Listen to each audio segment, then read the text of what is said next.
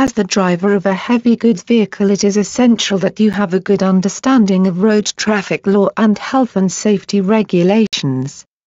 Today you are delivering to a mix of town center shops, and shops in small villages. You are driving a lorry of over 7.5 tons gross weight and most of the roads in the town centers are very busy making it difficult to find a parking space for unloading. The goods you are carrying are packed in cages and the vehicle is fitted with an electric tailboard lift. You do not know most of the drop-off points, as you are relatively new to this job. You arrive at one drop-off point to unload some goods and you notice single yellow lines painted on the curb at right angles to it. What do these mean?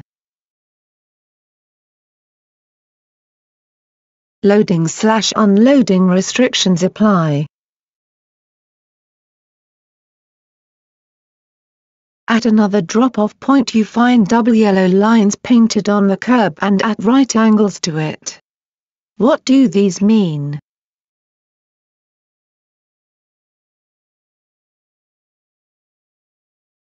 No loading slash unloading.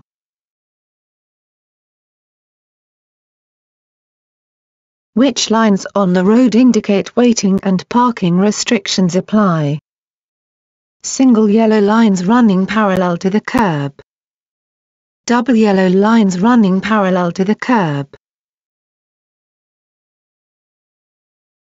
How long can you park in a parking meter-controlled space to load slash unload without having to pay?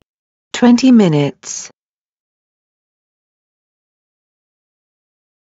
When unloading goods in the villages you can only find parking spaces on verges. Can you park on these for the purpose of unloading your goods?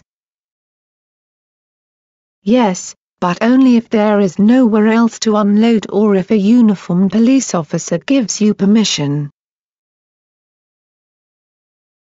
As you are about to unload some goods the torsion bar on the electric tailboard lift snaps. What should you do?